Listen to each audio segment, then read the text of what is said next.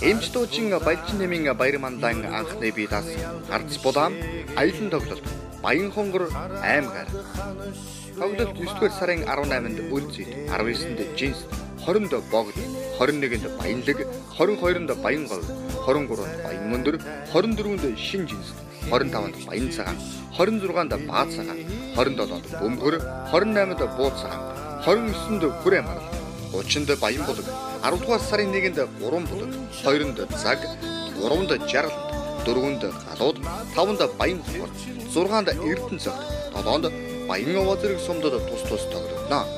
Мөн тоглолтын дурлалаараа дуучин сүрэн лам оролцож ард түмэндээ аялуугаан өргөх болно. Сон олон та бүхэн нутгийн хүүдээ урам хайрлаарай.